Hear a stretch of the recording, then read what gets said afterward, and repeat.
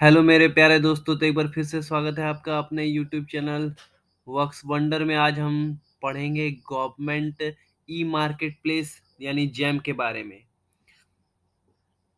तो हमारा ये टॉपिक उन सारे लोगों के लिए इम्पोर्टेंट होने वाला है जो रेलवे में ग्रुप बी एग्ज़ाम की तैयारी में लगे हुए हैं।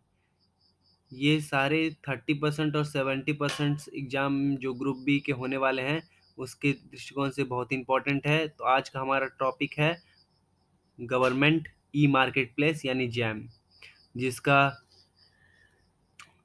जो मेन इंपॉर्टेंट थ्री वर्ड है, वो है एफिशिएंट ट्रांसपेरेंट एंड इंक्लूसिव तो आइए शुरू करते हैं आज का हमारा पहला question what is the full form of GeM GeM का फुल फॉर्म क्या है? तो जैम का फुल फॉर्म है गवर्नमेंट ई मार्केट प्लेस एक वैसी जगह जहाँ पे सरकारी सामान की खरीद बिक्री। कह सकते हैं कि जो सामानों की खरीद बिक्री होगी, जहाँ पे जिसमें ट्रांसपेरेंसी होगी और इफ़ेक्टिव तरीके से प्रोक्योरमेंट किया जाएगा, वे, वो एक ऐसी प्लेस है, बनाई गई है, जो जैम है गवर्नमेंट ई मार्केट प्लेस है। तो इस क्वेश्चन का सही आंसर होगा जैम का फुल फॉर्म क्या होता है? तो जैम का फुल फॉर्म होता है government e market place next question है who is the current CEO of GeM अभी है जैम के करंट सीईओ कौन है? तो सही आंसर है, प्रशांत कुमार सिंह। प्रशांत कुमार सिंह जो है, वो जैम के करंट सीईओ है। अब नेक्स्ट क्वेश्चन है the GeM portal of government of India deals with अब जो गवर्नमेंट ऑफ़ इंडिया का जैम पोर्टल है, यानी government of e market place है, वो किस से डील करता है? तो वो डील करता है पब्लिक प्रोक्योरमेंट मतलब जो भी पब्लिक यानी जो भी सरकारी खरीदारी होती है, वो यहाँ से हो सकती है। चाहे जैसे हमने देखा है कि रेल में बहुत सारी चीज़ें जो हैं, वो हर साल खरीदनी पड़ती है, चाहे वो फायर एक्सटिंग्विशर हो, चाहे वो पेपर्स हो, चाहे वो कंप्यूटर्स हो, जो भी यूजेस के सामान हो उसको हम लोग आजकल देखते हैं कि जैम से ही खरीदा जा रहा है। अब बढ़ते हैं नेक्स्ट क्वेश्चन की तरफ़। नेक्स्ट क्वेश्चन है गवर्नमेंट ई मार्केट प्लेस यानी GeM was introduced by the Indian government in यानी जैम कब आया था? तो जैम आया था अगस्त 2016 को गवर्नमेंट ई मार्केट प्लेस जो जैम था, वो 2016 में, अगस्त 2016 में इंट्रोड्यूस किया गया था। यानी अस्तित्व में आया था। अब हम देख लेते हैं, जैम जो है गवर्नमेंट ई मार्केट प्लेस जो है, वो इंडियन गवर्नमेंट द्वारा अगस्त 2016 में आया था और जो जैम पोर्टल है, वो डील करता है प्रोक्योरमेंट से रिलेटेड खरीदारी से रिलेटेड चीज़ों को डील करता है। और ये क्या है, एक end to end online market place है, जहाँ पे ये फैसिलिटी देता है ऑनलाइन प्रोक्योरमेंट को। मतलब आप ऑनलाइन प्रोक्योरमेंट कर सकते हैं सारे कॉमन यूज़ जो भी कॉमन यूज़ के गुड एंड सर्विसेज़ हैं, उनका आप ऑनलाइन प्रोक्योरमेंट कर सकते हैं। ऐसी फैसिलिटी जैम द्वारा दी जाती है। और ये है it is a national public procurement portal that offers end to end solution for all the procurement need of goods and service of government of ministry and department public sector undertaking and other apex autonomous bodies of central government तो देख सकते हैं यहाँ पे जो भी public office हैं, यानी गवर्नमेंट के ऑफ़िस या मिनिस्ट्रीज या डिपार्टमेंट हैं, या फिर पब्लिक अंडरटेकिंग है, या फिर ऑटोनोमस बॉडी हैं, या फिर सेंट्रल की एपिक्स बॉडी हैं, उन सब में हम जैम का यूज़ करके मटेरियल प्रोक्योरमेंट कर सकते हैं ऑनलाइन तो ये जैम के कुछ इम्पोर्टेंट्स हैं, जिसको, जिसके ज़रिए जैम को लाया गया है। अब बढ़ते हैं नेक्स्ट क्वेश्चन की तरफ़।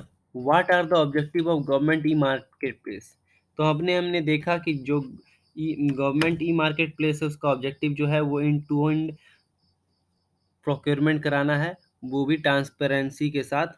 तो इस क्वेश्चन का सही आंसर हो जाएगा to create an open and transparent procurement platform for government buyers question पूछा गया है what are the objective of government e market place यानी जैम का ऑब्जेक्टिव क्या है? तो जैम का ऑब्जेक्टिव है create an open and transparent procurement platform जहाँ पे खरीदारी का एक ऐसा प्लेटफॉर्म बनाना है जहाँ पे ट्रांसपेरेंसी हो सारे गवर्नमेंट बायर्स के लिए। अब हम बढ़ते हैं नेक्स्ट क्वेश्चन की तरफ़। What is the limit of GeM? तो जैम की खरीदारी में क्या क्या लिमिट्स हैं? तो जो डायरेक्ट परचिंग परचेजिंग है वो पच्चीस हज़ार तक आप डायरेक्ट परचेजिंग कर सकते हैं। पच्चीस हज़ार से लेके पाँच तक, पाँच लाख तक में आपको कंपेयर करना पड़ेगा बायर्स के बीच में और उसके ऊपर के वैल्यू में आपको बीड और टेंडर करना पड़ेगा। तब आप जैम में कर सकते हैं खरीदारी। नेक्स्ट है on what amount EPBG and EMD is applicable तो जो इलेक्ट्रॉनिक परफॉर्मेंस बॉन्ड गारंटी होता है और अर्नेस्ट मनी डिपॉजिट होता है, वो किस किस के, केस में अप्लीकेबल होता है? तो इफ़ द एस्टिमेटेड बिड जो है, वो वैल्यू अप टू पाँच लाख होगा तो उस केस में ई पी बी जी यानी इलेक्ट्रॉनिक पब्लिक बैंक गारंटी जो है, वो अप्लीकेबल होगा और जो पाँच लाख से ऊपर तक में होगा, उसके ई एम डी अप्लीकेबल होगा।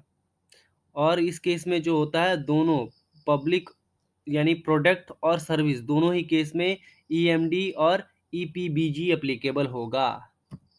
नेक्स्ट है what does C R A C stand for C R A C का मतलब क्या है? तो ये है consignee receipt and acceptant certificate जब भी कोई मटेरियल कंसाइनी को मिलेगा तो अगर वो एक्सेप्ट करता है तो उसे रिसिप्ट दिया जाता है, जिसको सी आर ए सी कहते हैं, यानी consignee receipt and acceptance certificate C R A C next है direct buying can be adapted for the purchase order in the range तो जो भी डायरेक्ट जो भी डायरेक्ट परचेजिंग होती है, यानी डायरेक्ट बाइंग होती है, उसका रेंज जो होता है वो पच्चीस हज़ार तक होता है। इसका सही आंसर होगा zero two twenty five thousand. Next है mandatory price comparison amongst three seller can be adapted for purchase order in the range तो जो भी रेंज पच्चीस हज़ार से लेके पाँच लाख तक होता है तो उस केस में तीन बायर्स जो हैं, उसके बीच में कंपैरिजन करना पड़े सॉरी सेलर्स के बीच में कंपैरिजन करना पड़ता है और फिर हम मटेरियल प्रोक्योर कर सकते हैं। तो इसका सही आंसर होगा ट्वेंटी फाइव थाउज़ेंड से लेके फाइव लाख तक। नेक्स्ट क्वेश्चन है who can reject the consignment अब कंसाइनमेंट को कौन रिजेक्ट कर सकता है?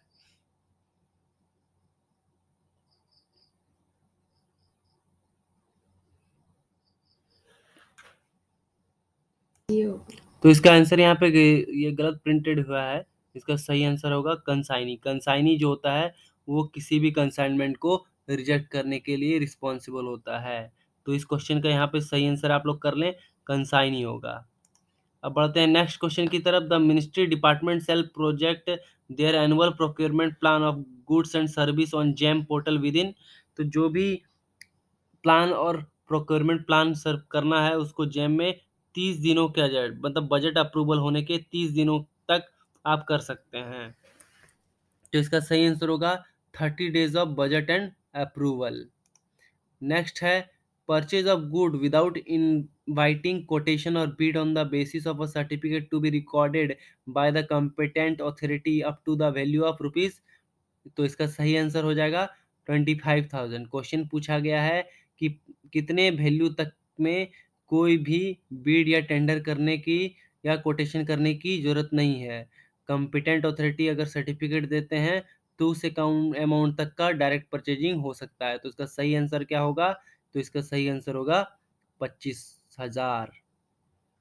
तो आज का नेक्स्ट और लास्ट क्वेश्चन है कि purchasing of goods without inviting quotation और bids on the basis of a certificate to be recorded by the competent authority up to the certain has been given in general finance rule under.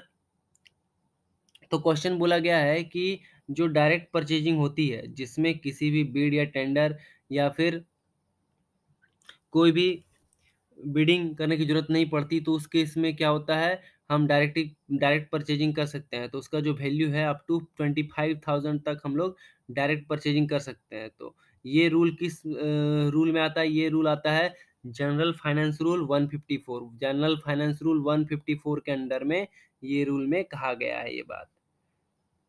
तो thank you दोस्तों। Channel को कीजिए subscribe और पाइए हमारा latest update thank you